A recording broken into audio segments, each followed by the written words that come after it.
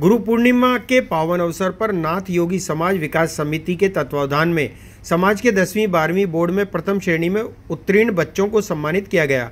विकास समिति के साथ ही समाज के कई बामाशाह द्वारा भी प्रतिभाशाली बच्चों को पुरस्कृत कर सम्मानित किया गया।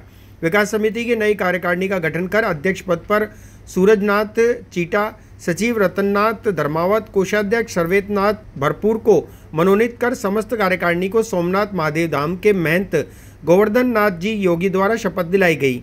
नाथ योगी समाज द्वारा गुरु पूर्णिमा के अवसर पर सोमनाथ धाम पीठाधीश्वर महंत श्री गोवर्धन नाथ जी योगी की गुरु पूजन कर आशीर्वाद प्राप्त किया गया। है कि हम जैसे बच्चों को हमारी तरफ़ से सम्मानित करना चाहते हैं तो मैं निवेदन करूँगा श्री सबसे पहले प्रेमनाथ जी को।